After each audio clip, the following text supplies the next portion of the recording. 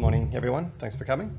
Uh, probably very few of you have ever met me, so I'm Justin Wood. I've been working with Tim now for about 18 months and on this project for at least a year. So this next section, well actually this, the, this will be the bulk of the presentation today, is where we want to go through not, not every single thing in the consultation paper, but most of the important design elements. Um, carrying on from the introduction where Tim pointed out we made this decision in August to adopt that option B of a look ahead dispatch based real time pricing. So the fundamental design principle behind the design we're, we're presenting today that's in the consultation paper is that prices will be set in real time by the dispatch process that the system operator uses to run the power system. Uh, so that will mean that prices are struck every time the system operator issues new dispatch instructions from the dispatch schedule, and that will occur at least once every trading period. Uh, up here, these, these are the red dots indicating the issuing of dispatch instructions. From that dispatch schedule, it, we will produce dispatch prices, and they will be set by the, you know, the interaction of generator offers uh, and nominated dispatch, or, or essentially dispatchable bids then subsequently the interim price for the trading period will be determined immediately after the end of that trading period through some averaging process, process um, and we'll look at what that one is a little later on. As I've said, these dispatch prices will come from the system operator's existing real-time dispatch schedule, RTD.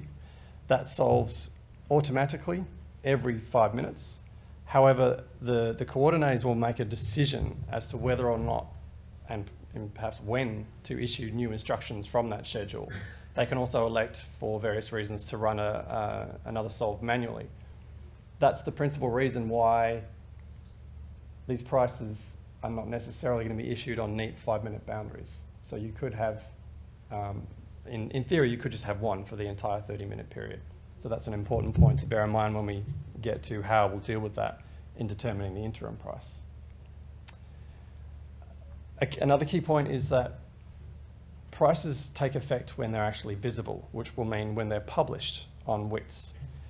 So the fundamental design idea is that prices from the uh, wholesale electricity market should be what you see is what you get. And that's fundamentally necessary in order to be able to react um, in response to those prices. Uh, as I said, the interim price will be calculated automatically, and, and, we're proposing that the clearing manager will take that task. Tim also mentioned that we, we, it's not in the code amendment proposal, but we have in mind to have essentially sort of a, a progressive rolling average that would be displayed on WITS or, or perhaps through um, alternative mechanisms that would just sort of project forward what the spot price for that trading period is likely to be. I meant to say, uh, we had we had planned this material so that there were sort of specific breakpoints where we'd stop and take questions. Um, in Auckland a couple of days ago, we took questions from the floor, particularly in this section. Um, we're not entirely sure if that will work with this number of people, but if anyone does have any questions as we go along, please raise your hand, sing out, and we'll see if we can work that in. So, in order to strike prices in real time, that means that the real-time dispatch schedule must always, always be able to find a feasible dispatch solution. So first of all, we have a problem because SPD in solving that RTD cannot do that today. There will be infeasibilities or there may be other um, instances where some sort of manual intervention is necessary. Um, the system operator describes it by saying RTD is, is absolutely good enough to dispatch and run the power system, but it's not today set up to settle the market.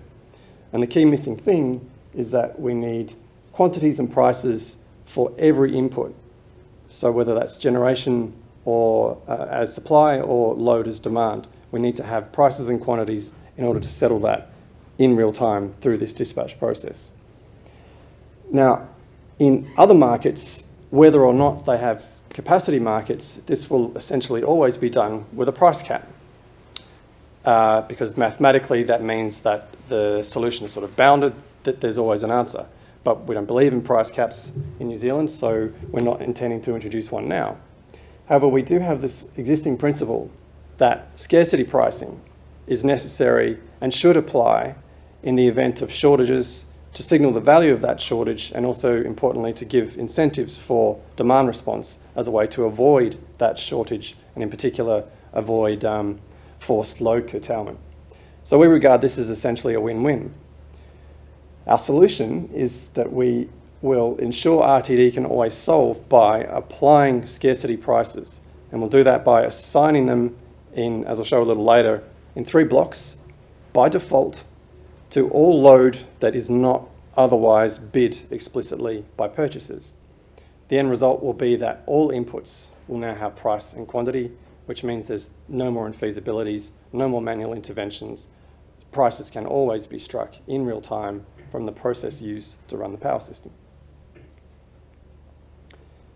This next little section, what I want to do is um, outline the major design elements all up front, and then we'll progressively step through some of the details of those um, throughout the rest of the day. So we think it's really important to, to remember what it is that we have now, which is far, far from ideal. And in fact, New Zealand is the only major electricity market in the world that we're aware of where prices, you'll find out for sure what they are two days after the fact. So what, what do we have now and how would it change? Or what do we need to change in order to implement this real-time pricing design? As we know today, dispatch, the process of dispatch and settlement pricing are entirely separate processes. Uh, and in fact, you could also throw in there the indicative five-minute prices. So reading from left, uh, the existing dispatchable demand product is currently dispatched from the non-response schedule um, essentially 25 minutes ahead of the start of the trading period. And then within the trading period, I have, I've only drawn it as a single one, but there would be multiple normally. Um, the RTD will solve and the system operator would use, um, would use that schedule to issue a set of dispatch instructions. Um, at least once and on average six times roughly every five minutes throughout a trading period. Um, for those of you who gluttons for punishment are doing this for the second time, we didn't have this little um, graphic here uh, two days ago showing RTP as it, exists, as it exists today, which is these current indicative prices that actually are set using slightly different inputs on strict five minute boundaries as Tim said before, it's only on a best endeavours basis. It's not necessarily all that accurate, um, and in particular, it tends to be um, less accurate as the system's under stress, which is kind of the time when perhaps you need it the most. So, perhaps unfortunately, they are called RTPs, real-time prices. Um, this is about the only time I'm going to mention them today, um, just to show that we're not relying on them. When I say RTP from here on out, I'm not talking about them. I'm talking about this new design that we're proposing. Okay, so moving on, this is within the, the trading period. Um, those RTPs, if available, are the only price indicator you get in real time. Then we start the, the interim pricing process the next day. However, first of all, we need to deal with any of these um, provisional pricing situations that might arise. Um, so there's infeasibilities, of which there are many.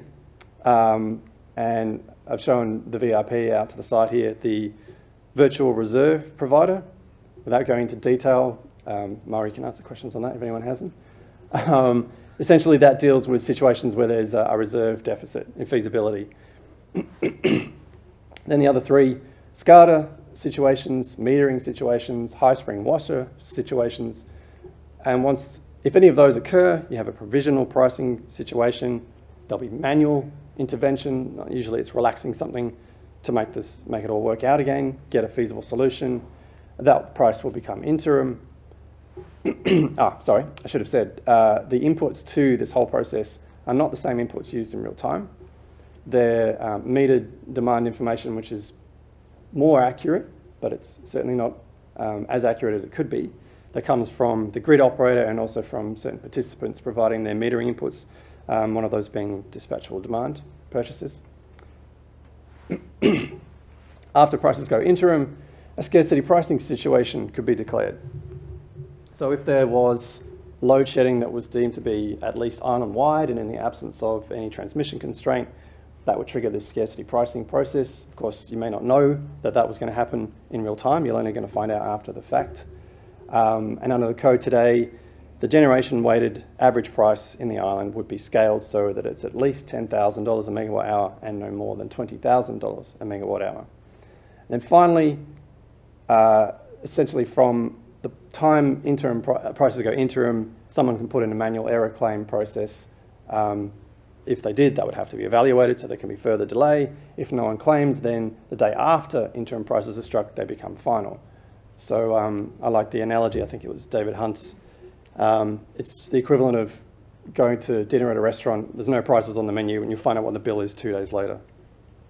So that's what we have today. As I say, just, just remembering all of these manual interventions that substantially reduce certainty in your ability to trust and respond to those current indicative prices, assuming they're actually available at the time. Under the real-time pricing proposal, we're going to integrate dispatch and pricing settlement into a single process.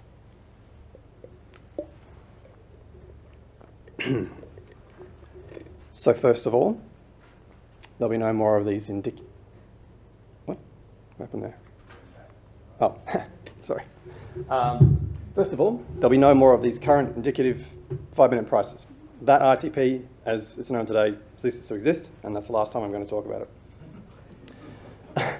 Dispatchable demand, because everything must, must be done through the, through the RTD, through the dispatch schedule. Dispatchable demand will now move to being dispatched along with every other resource as part of that um, RTD process. Scarcity pricing is, is as a separate post-processing mechanism is entirely removed. And scarcity pricing, as I said before, becomes fundamentally integrated, fully integrated into the, uh, the real-time dispatch process as the mechanism to assign a price, essentially, to any load that isn't already given a price through a purchaser or, or their agent, perhaps, um, via an explicit bid. We also will have what's known as this reserve shortage CVP to deal with um, uh, the occasions when we might relax reserve cover temporarily. I'll just park that I'll explain that more a bit later on. Uh, no more situations. No more separate pricing process the next day. Instead, we will now have RTD creating dispatch prices and they'll be published to WITS and in fact they take effect when they're seen on WITS as part of the act of issuing new dispatch instructions. Interim prices are then not a separate process, it's just a simple averaging function to derive a price for the 30 minute trading period from the set of all of the dispatch prices that were published in that period. Uh, so that interim price should be known essentially immediately, just, just as long as it takes for that um, simple database calculation to occur. Now, if we retain a pricing error claim, and if we retain it as a manual process, then that will essentially look the same as it does today. That once prices go interim, you, you, you have uh, essentially a day to claim a pricing error, and if nobody does, then you know, we change the bulb and those interim prices become final the next day. That, that was the general overview. Um, now we'll step through more of the detail. Um, it's not strictly put together this way, but I just thought it was useful to try and keep in mind three general themes of what, what we're going to show you. Um, Tim said this earlier, that there's a whole set of things that we don't need anymore. There are things that we have to change in order to make RTP work in, in the way we proposed. And there are a few enhancements that we don't strictly need in order to make RTP work, but we think they would strengthen the benefits and it's absolutely worthwhile doing that, um, you know, while we've got the hood up, essentially. Just, just check in and see if there's any... Oh, questions. So Sure. I don't know if this was Yep. planned to be a break. I thought people were going to sing out, but maybe Okay, no, that's cool. not. okay. So uh, things that we don't need anymore. I've already said this, but there will be no more situations, no more high spring washers. High spring washers physically can, of course, still occur on the transmission system, but there's no need for any ex post after the fact intervention to restrain um, essentially the high price. Um, the prices would be limited by default through the scarcity pricing values being assigned to load. However, of course, um, they can be overridden through purchasers putting in their own explicit demand bids, and then that would begin to act as a limit, either lower or higher or, or whatever their willingness to pay was. No more infeasibilities of any description because they're removed by definition. They're removed by incorporating scarcity prices into the dispatch schedule. As we've said, RTD now has price and quantity um, values assigned for all of its inputs. No more metering situations because that information is not used in the dispatch process. No more SCADA situations, not because there could be no um, problem with SCADA information, but the dispatch process already has mechanisms to deal with that through the SCADA data validation process. You always have to have something to dispatch from. Um, so the system operator already has a predefined hierarchy of, um, you know, best information to progressively less good information that they use in this circumstance. And it's not shown here, but one of the enhancements we're suggesting, we're proposing, is to actually include ion meter data, as which is much higher quality, and that will then supplant SCADA and be the first, the first one in that STV hierarchy. Um, scarcity pricing, once again, is now fully incorporated in the dispatch schedule. There's no longer any, any ex post mechanism. Hopefully, you should be able to see it coming, and you will know that those prices are real when they're struck through the dispatch schedule. Sorry, question on that. Sure. So, uh, what, what you're saying, metering is used in dispatch, how does that map with the use of particular type of metering? So for the benefit of our webcast, can you introduce yourself and repeat Uh, Bruce Rogers from Orion. Um, you've just said that in the bullet point up there, the metering isn't used in dispatch, and you've said we're going to use ion metering. So I just Yeah. wanted to understand how those two things go together. Yeah, I'll, I'll let Murray handle that one. We've, we've got about two or three slides on that later on. But We got the first question out of the way, so thank you.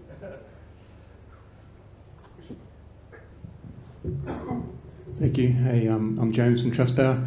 Um, just for absolute clarity on the very first point, as I understand it, you're saying that, you well, you're not saying that spring washers won't continue to happen. They will, but it's the ex post adjustment downwards of the spring washers Yep, that you're getting rid of. correct. Yep. Cool, thank you. Or, or, or at least um, we no longer believe that any separate specific adjustment would be required to deal with a high spring washer because of the, the, the fundamental effect of having these scarcity prices and, and we would hope over time increasingly more um, voluntary demand bids that would have the same function of acting to restrain how high that price on the high end of the spring washer could be.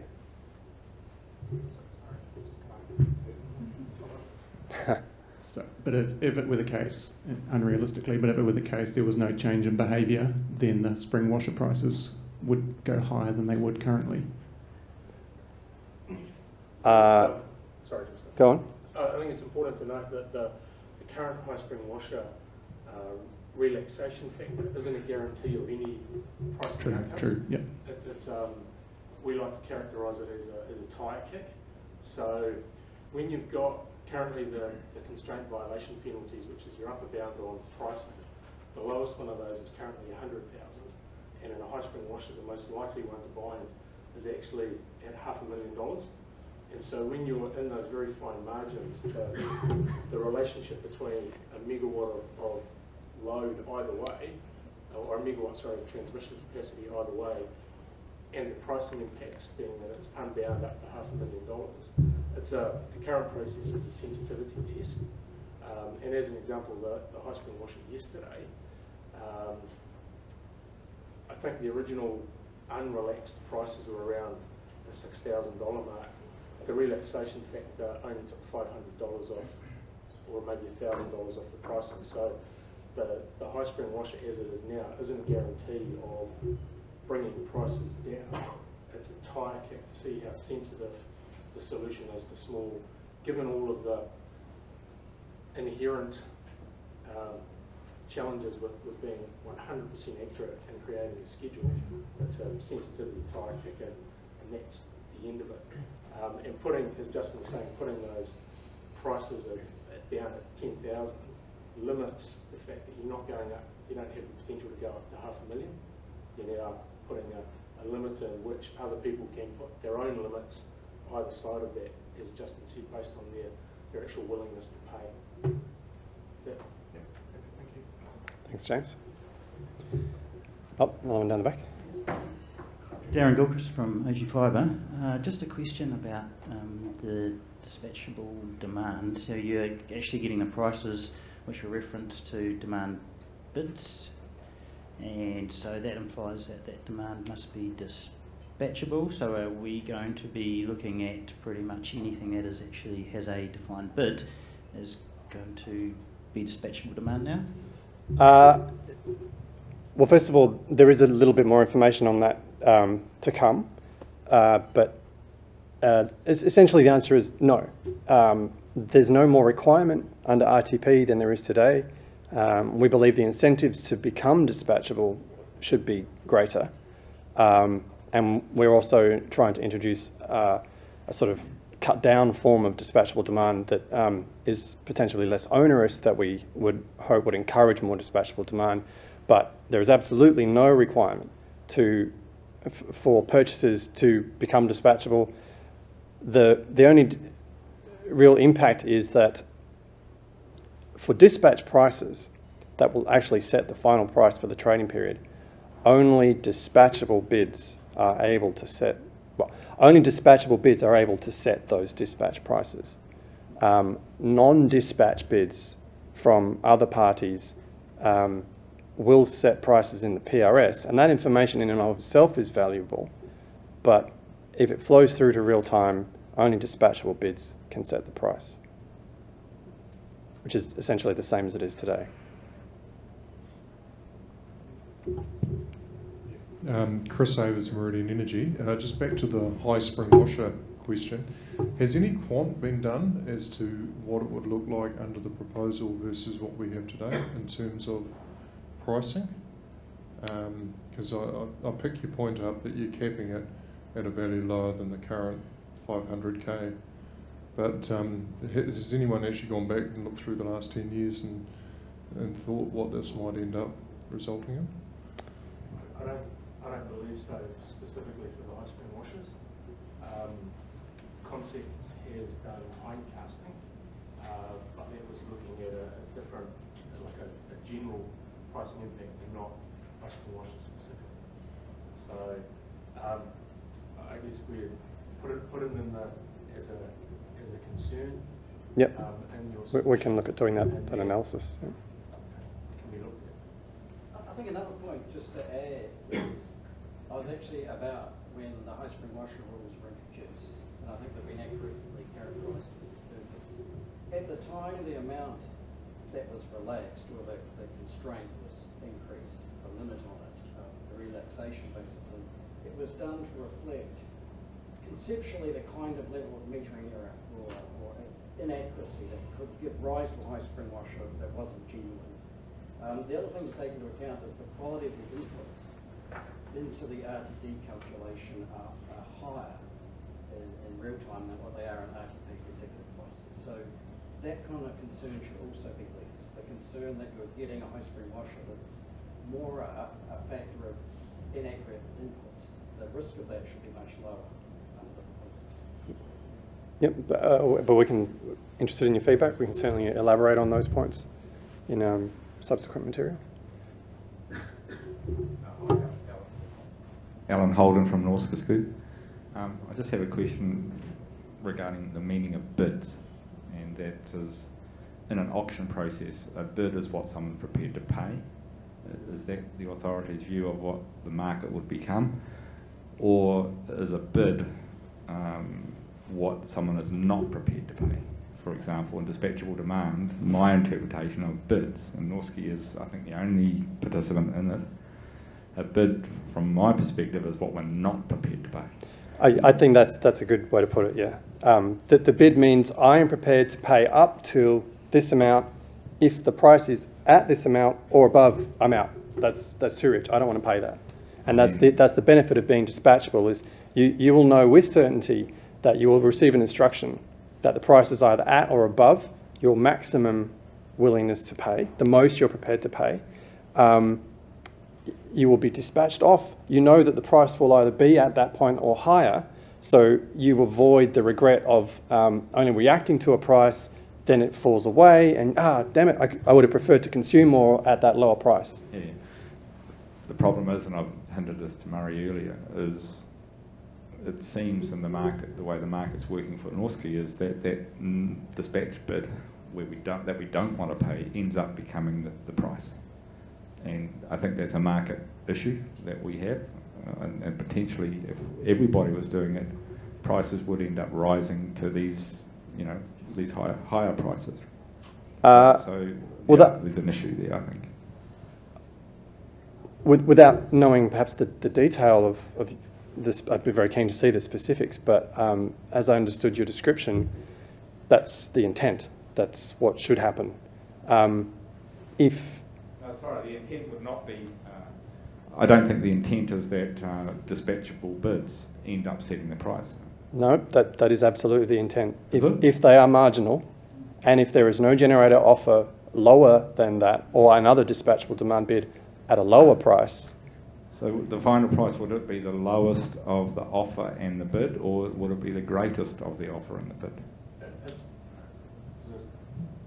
uh, it's the intersection of supply and demand. So uh, generally, prior to DD, you had a supply curve and you had a fixed load amount. So it was only ever where the load cut the supply curve. But when we introduced dispatchable demand, you actually put prices into the demand curve. And so it's the intersection of those two. So it, it has always, from, from day one, um, been able to put pressure, on, put downward pressure on wholesale prices, not just by the reduction of load, but also by the load being able to, to set the price. So I think maybe we're, we're better, as we said, having a, Yeah, a, a bit would be discussion offline. uh, quite keen to talk to you on this further. Um, if we have time, I do have some slides that actually show those curves. Um, we can pull them up la- later on today if, if we have the time for that. But um, yeah, certainly keen to have discussion with you. Hi, uh, uh, Steve Torrance from NZX. I just have a question on uh, in- infeasibilities. At the moment, a lot of those are just driven by outage timings, not reflecting reality. Yeah. I imagine that would reduce under RTP because you're doing it on a five-minute schedule. But is there any prospect of um, of having outage timings not reflecting reality, and therefore you're exposing consumers at a particular node uh, to to those scarcity prices just because of a, effectively a modelling error? No, no. So um, yes, we'll, we'll, we are well aware of that. There is a proposal. Um, in fact, it's one of those areas where we have um, put forward something, but that we're interested in uh, alternative ideas to deal with those disconnected nodes and the potential for them to be misaligned with um, the dispatch schedule and the pricing boundaries. So Murray will talk about that later on in this um, detailed section. But um, just to flag that no, we're not suggesting scarcity prices would apply in that kind of situation. Scarcity prices are intended to apply when the system operator must instruct emergency load shedding in real time to keep the lights on, to keep the system in balance. Um, we're not intending to use that to, um, for, for any other context. Um, but as I say, there, there will be more detail on, on that point a little later on. Uh, Alan again from Norske, just coming back to the metering question. Um, we provide uh, SCADA data through one mechanism, and we have revenue class meters for for another mechanism, which we can't get access to. It's all it's sort of locked up. Yeah. Is is there a proposal to take the better quality revenue ion meters and so forth and, and disclose those in real time to both participants and to the system operator and improve the metering uh, accuracy using revenue meters? Yeah. Do you want to? Yeah, uh, we- we've got a slide or two on, on that later, but yes. Yep. So um, it, it's great to have all these questions. Uh, what I might do is move on because hopefully some of these, the next few slides will fill in some of these um, gaps as well. Uh, uh, it should be fairly obvious that there'd be no more separate final pricing schedule because there's no separate um, final pricing process any longer. And that would mean there's really no longer any role for a pricing manager. Um, the one sort of residual job would be to, to calculate these interim prices from that set of dispatch prices, but really that's uh, a fairly simple function mathematically. Um, so we've proposed that the clearing manager would take that on, and as I say, immediately that will be published onto WITS. Um, for any manual error claim process, uh, we'll discuss this later in more detail. We're also proposing that the system operator undertakes that role um, as opposed to the pricing manager now. Um, oh, well, I guess there's one little, oh, pointing over there, one little bit I said, I think this one is the last time I mentioned RTP. So um, that, they'll be gone. We, we, we um, in fact, we, we did toy with trying to redefine the words real-time pricing in the code, but decided no, that'd just be way too confusing. So from, from here on out, they're struck and, and not, not included, even though this whole project is about real-time pricing. Uh, I probably said all this verbally, but I'll, I'll step through this anyway. So um, scarcity pricing would be fully incorporated into both the forecast and the dispatch schedules. Actually, I haven't spent too much time talking about um, the forecast schedules, uh, but other than to say they will be treated the same way as everything we're describing for the dispatch schedule, the dispatch process, with the obvious exception being um, the forecast schedules remain single forecast for the 30 minute trading period. So we're not proposing to introduce something more granular. Um, uh, right. These scarcity prices would be assigned by the system operator by default, keyword by default, to any load that's not explicitly bid by purchasers we intend to use three blocks to do that. Uh, and those blocks will be bounded by the existing scarcity pricing values under the current code arrangements. So the lower bound being uh, $10,000 a megawatt hour and the upper being $20,000 a megawatt hour. We propose to, to split them using these three step functions. So the first 5%, again, proportionally, of any unbid load would be assigned to $10,000 a megawatt hour uh, the final 80% at $20,000, and essentially that interim 15% step, we've just split the difference at $15,000. Um, we, we think this is actually uh, quite a good, in fact, quite innovative approach. Um, we're certainly very serious about using those numbers, but we're prepared to um, examine alternative suggestions or, or perhaps a, a different way of arranging those steps but certainly we think this is a, a very good starting point. Um, just to really hammer this point, if these blocks are, now I said cleared last time and got into trouble, so not fully scheduled or not will not be fully supplied yeah. in, in um, real time, then that means they'll be marginal, they'll set the dispatch price, and that, that is the signal to the system operator to trigger an instructed emergency load shedding that 5 and 15%, so this was 20%, was selected in part because we believe that reflects essentially the, the reasonable limit of um, the load management or the load control arrangements that um, distributors already have in place. Uh, now, why exactly are we proposing the 5% um, and then subsequently the 15%? It's really important to under understand that the first 5% block, what that would mean is that load shedding and the scarcity prices that are, that are driving it would sort of spread from that affected GXP to others in the affected region. Um, as you see today, for example, in the $500,000 deficit generation CVPs uh, in, as a form of infeasibility. Um, doing it this way also avoids shedding load entirely at sort of the first constrained GXP, so you avoid sort of hammering just that one location, um, if, which would be the case if you were to use a, a single block or, or a much larger initial proportion. Uh, it's also consistent with the fact that under the scarcity pricing arrangements today, which admittedly have not been triggered yet to date, um, the generation weighting for the average price, that has the effect of spreading um, those prices throughout the, well, the affected island. Um, and also that 5% of the national, the island-wide load is, is still quite a significant quantity. Um, the 15 and then the 80% blocks with their rising price value assign is just reflecting the, the principle that um, you would shed your lowest value load first, and as you need to reach out and grab more, um, it's becoming more and more valuable, so the cost should rise, uh, reflecting the severity of the, the service that's being removed. Now, this applies both for the forecast schedule, so the NRS, the non-response schedule, and the PRS, the price response schedule, system operator assigns default scarcity pricing values to all load at every GXP that is not bid by a purchaser. The full details of that are, well, throughout the consultation paper, but in particular in that appendix, that large table showing the breakdown of the, um, the individual types. Um, Now, in the PRS, when I say bid, there's a, a range of bids that are applicable. Every bid counts in the PRS. That, that's kind of the point of the PRS.